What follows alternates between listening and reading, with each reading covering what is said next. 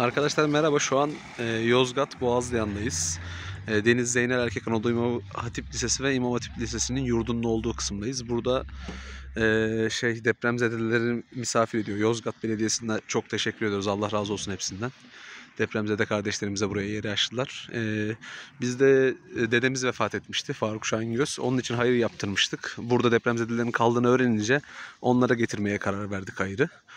E, o yüzden de buraya geldik. E, depremzede insanları rencide etmemek için daha fazla ha, o videoyu hayır yaptığımız kısmı buraya eklemeyeceğim. Bilginiz olsun.